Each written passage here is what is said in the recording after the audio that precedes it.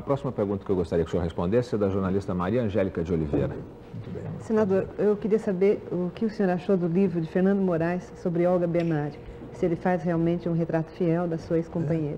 É. Queria também isso. saber, é. desculpe, só queria complementar a pergunta, que o, porque eu gostaria de saber porque o senhor se aliou a, a Getúlio após uh, Getúlio ter entregue Olga Benário aos nazistas que a mataram. É, não houve propriamente aliança. Né? Eu começo pelo fim da sua pergunta. Não houve aliança, houve apoio. Eu estava na prisão ainda e já apoiava o, senhor, o governo do senhor Vargas, porque naquela época o inimigo principal da humanidade era o nazismo. O fundamental naquela época era liquidar o nazismo, o fascismo, principalmente o nazismo alemão, Hitler, portanto. Isso é era o, esse era o inimigo principal da humanidade. Outros não compreendiam isso.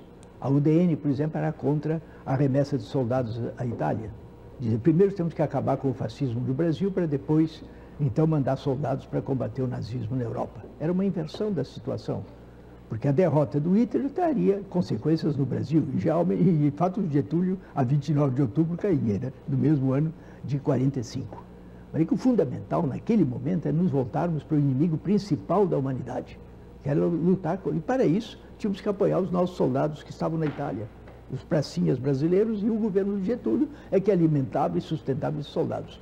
Então, apoiar aquele governo era para apoiar os pracinhas. Essa foi a minha posição. Eu não faço política baseado nos meus ressentimentos pessoais. Eu faço política baseado nos interesses do povo brasileiro, da situação concreta em, e toma uma posição frente à situação concreta que estamos enfrentando.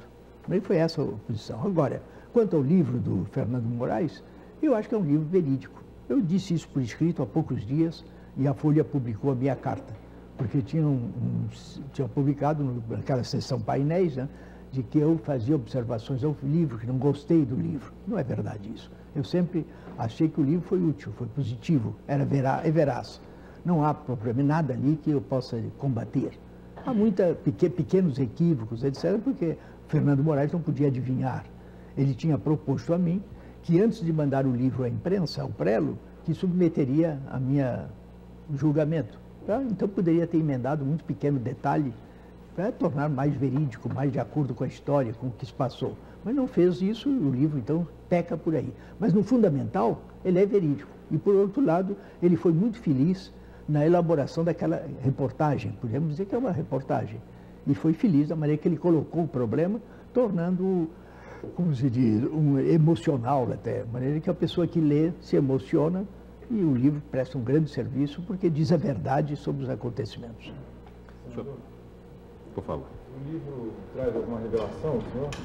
Não, não traz. Traz uma revelação que eu não estava suficientemente informado sobre isso que é a posição, aquele, baseado em certos documentos que ele conseguiu no Itabaraty ou não sei onde, depoimentos do companheiro Rodolfo Guialdi, que foi o primeiro que levantou o nome de Olga, que ela não era conhecida aqui como Olga, e isso foi sem dúvida um defeito. Depois ele foi visitar o, o na Buenos Aires, o Rodolfo, e ele confirmou o que, o que consta do livro. Isso para mim foi uma surpresa porque eu não sabia disso.